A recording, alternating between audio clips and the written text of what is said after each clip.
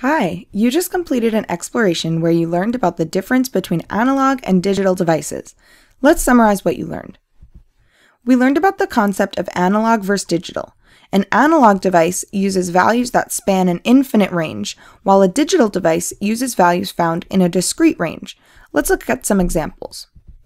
A thermometer is a great example of something that can be analog or digital. An analog thermometer could conceivably show an infinite number of values using the red indicator.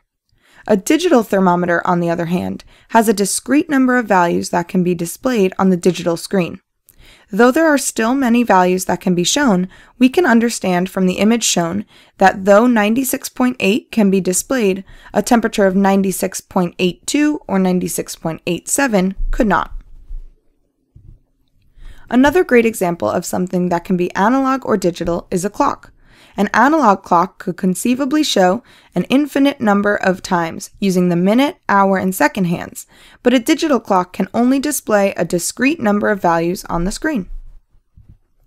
We learned how the plot brightness command can be used to light an LED at a specific brightness value from 0 to 255.